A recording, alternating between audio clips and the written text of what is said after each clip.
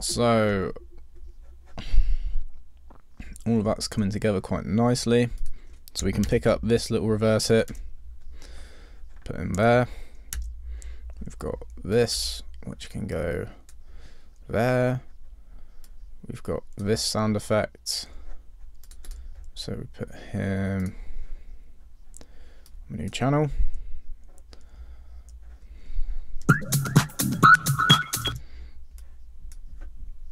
And then we've got our little vocal riser.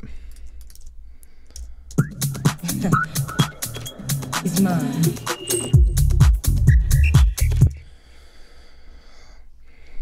Then let's get rid of that whistle on the drop. Consolidate that there. Get him before, maybe let's try a little variation.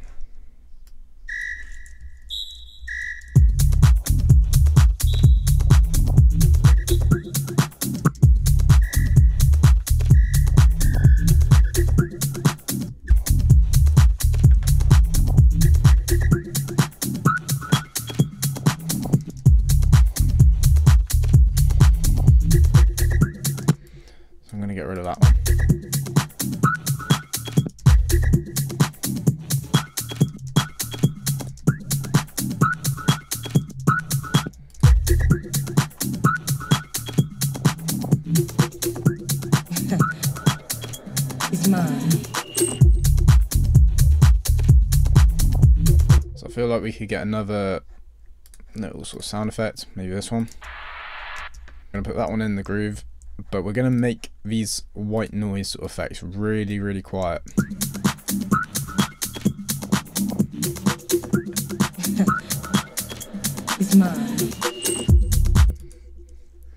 okay, so we're going to see what we can do with this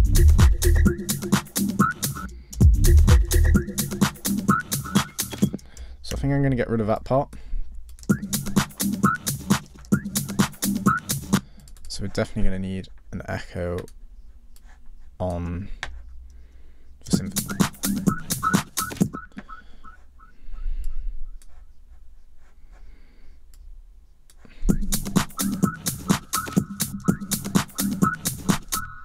Mm, it's not really working. Let's try delay.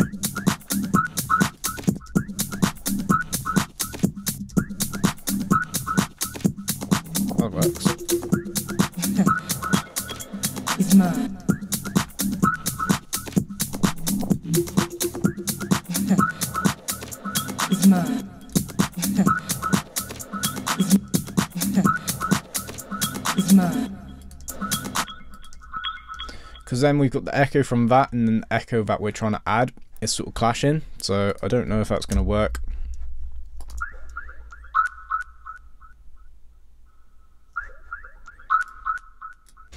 So maybe we could look to add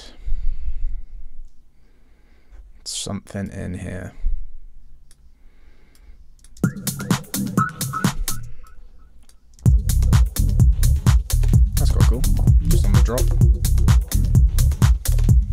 Yeah, so that's rolling really nice how I want it to. So let's start affecting some automation lines.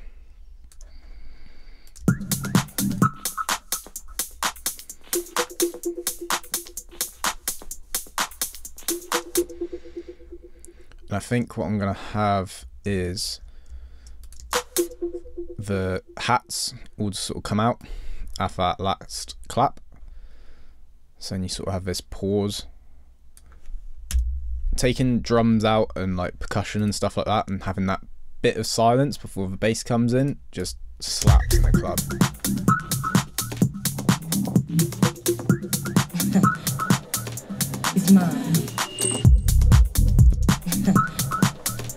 it's mine. And because the track's already sort of quite wet and washed out from the style of vibe we're going for,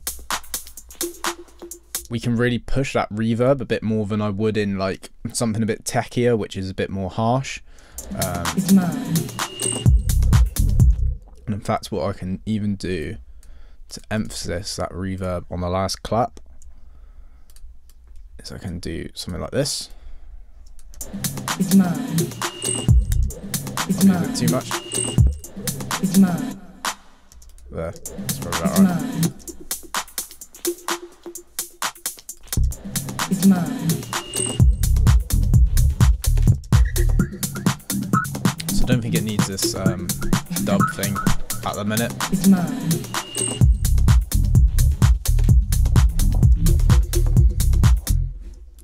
So let's have a look, see what else we can do. Something we can do and we haven't done yet is affect all my hi-hats, which is not that one. I don't think that's a percussion in it. I mean, that's more of a synth, so let's bring him down and pop him in the synth group.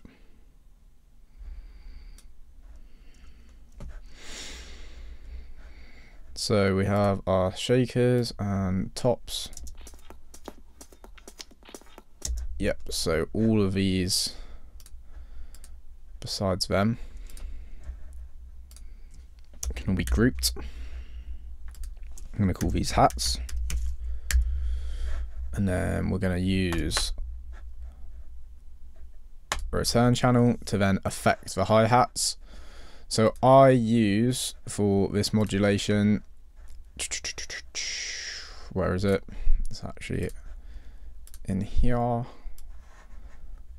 Saturn. So I use Saturn, so there's some really good modulation presets. Um, I came across them probably about a year ago, just sort of flicking through trying to find new interesting things to do. And it's just stuck as part of my process now. Um, so you have access to the preset there and you know what the what the plugin is. So feel free to copy if you want, um, but I would recommend just like trying different plugins. So maybe try Saturn 2. I imagine they've got some different variations. Uh, you can have, get the same effect from Tantra, Effectrix, Beat Repeat as well. Just play around um, and try and create something unique. But the way we're going to use it is we're going to go show automation. And we're just going to bring some sort of character to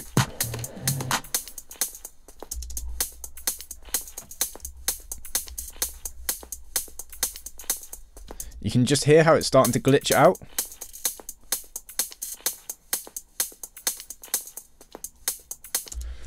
so that's what I do. I always do it on my hi-hats. If you do it with the clap in there as well it can become a bit intense. Um, works for some tracks but for this one it doesn't. And you can always do the same on the percussion group as well. Sometimes i may um have a separate saturn or use a different plugin like i just mentioned earlier. But if we just you might be able to hear it a bit better in here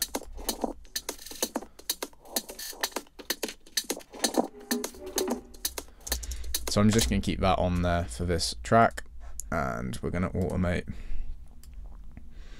this one up quite heavily. And as well with automation lines, if you weren't aware, you can bend them. So you need to hold option, highlight the thing, um, highlight the line, sorry, and then you can bend them like so. So you can create more unique automation curves. Um, personally, because I've got a lot of automation lines, I do just tend to keep them straight. Um, but there's no right or wrong, so It's mine.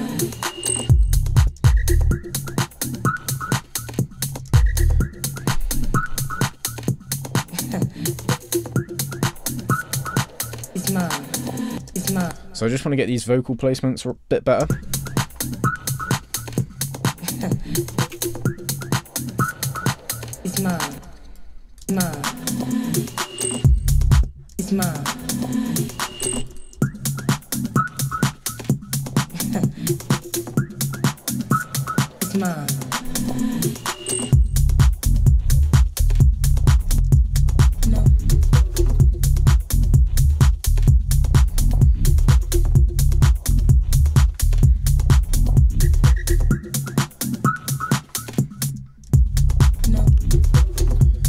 That whistle might be better just kept as it was.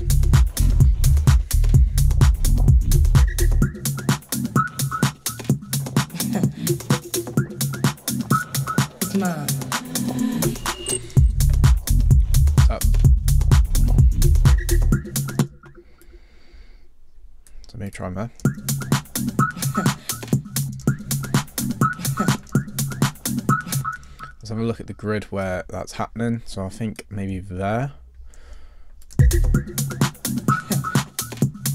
Sounds better.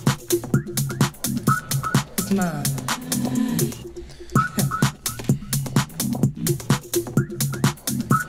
It's mine.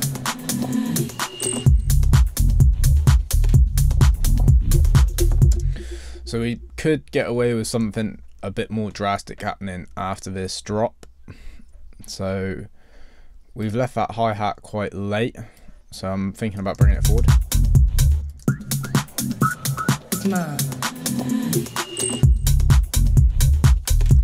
I'm going to keep him over there. We're going to bring this one forward. Actually, we're going to put him there. That's what I'm thinking.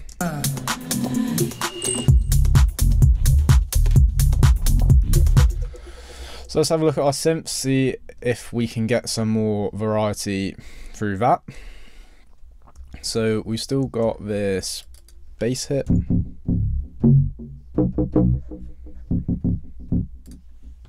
then we're going to resample. And then record enable that.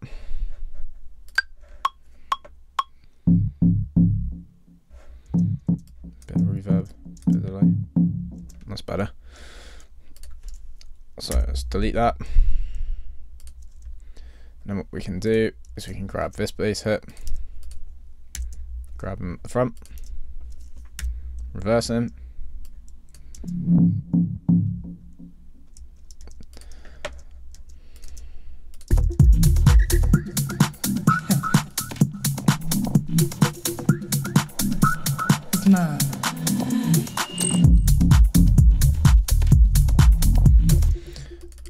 And to sort of dub it out a bit more, maybe let's just try and take away some of the highs or mids, high mids. Even give it a little Nice. resonance.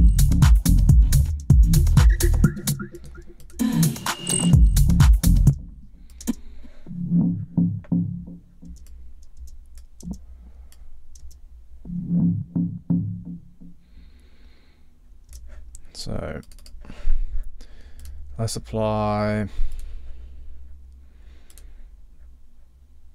a delay to actually the whole group on the channel, shall I say? So that might work just a bit better for style of track.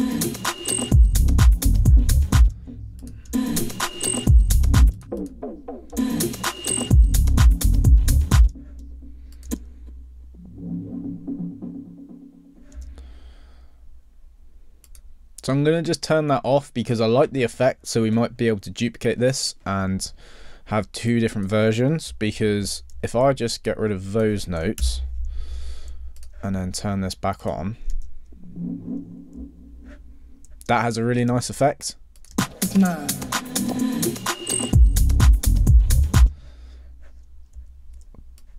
So we may be able to just create something with that later on.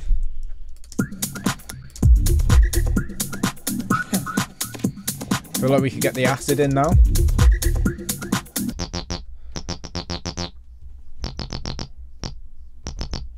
Cool. So let's record that in. So we're in the right place. Yep. Just go from there.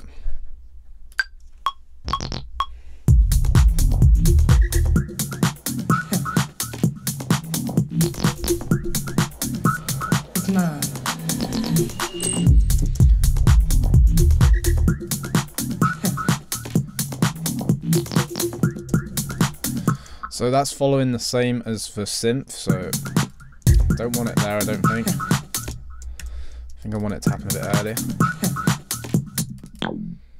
Just, just try that.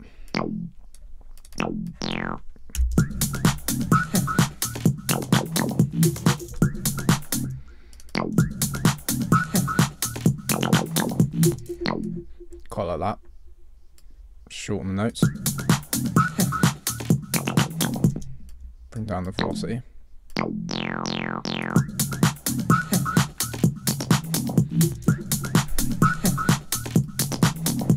Yeah, that's it. Maybe change it to square.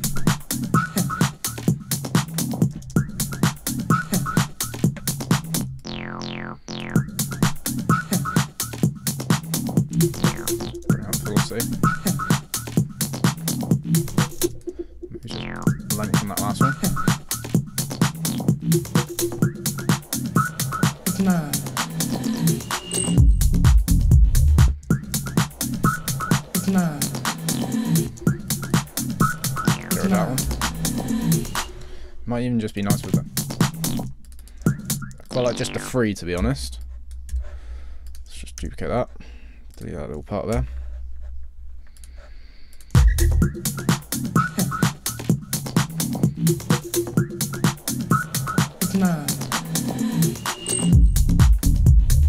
So what I'm thinking with this one is have it more like that just to start with and then we can maybe develop that as we go along.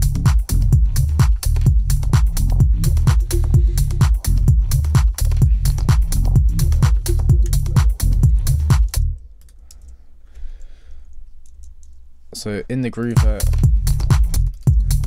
I think I'm going to get rid of that one.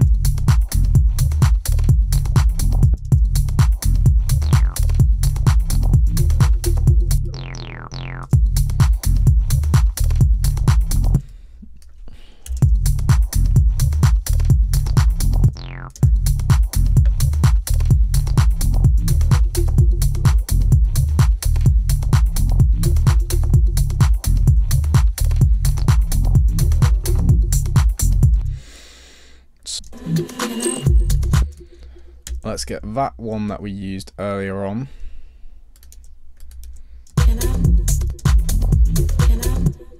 And I'm, what I'm thinking is having that synth hit just before.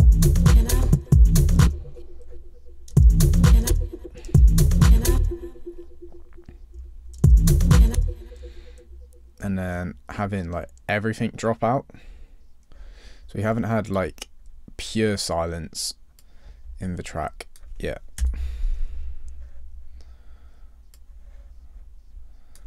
See what this sounds like. Maybe leave it clapping just a minute. Yeah, that sounds sick.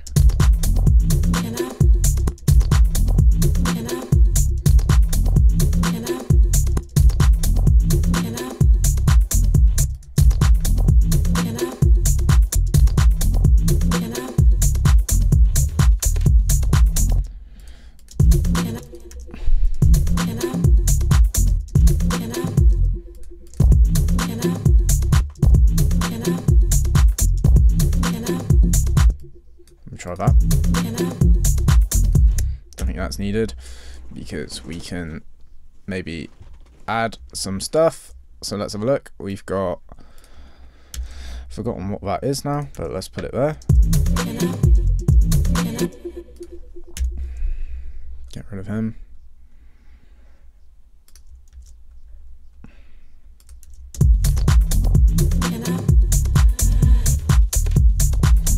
So let's do this so it sort of like all fades into one.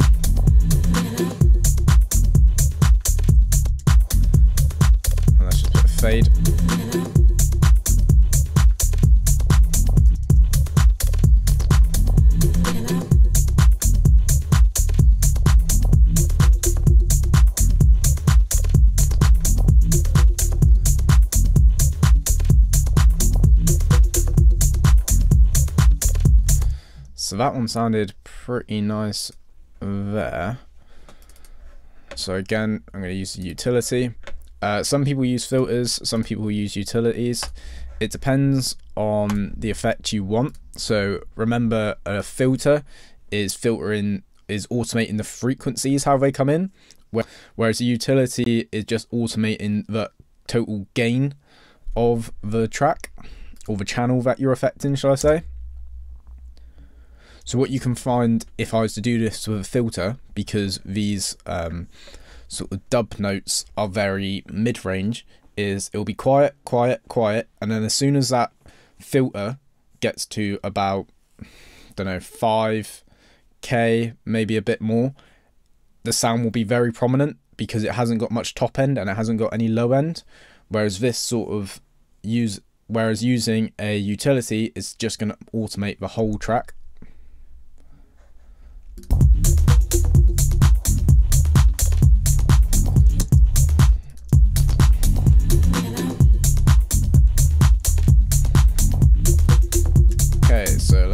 Whistle again. And we're gonna just try and get some sort of like vocal hit. Maybe use this one. We used earlier. Put in.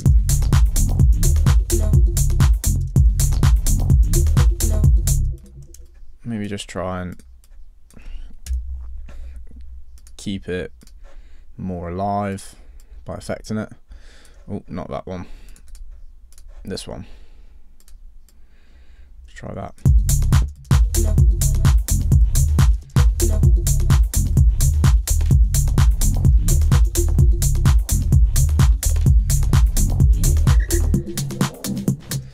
And then we had this on a new channel, didn't we? Um, we reversed it. I'm just going to save quickly, because I haven't saved at all. And so we have got to the two minute mark, so we're not far off what I said. I said I wanted to get about three minutes done. Um, so that's pretty good going, considering I stop and talk and explain everything.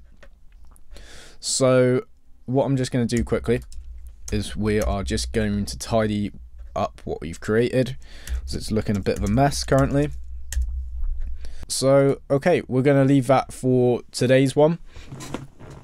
And we are going to then go through our first breakdown.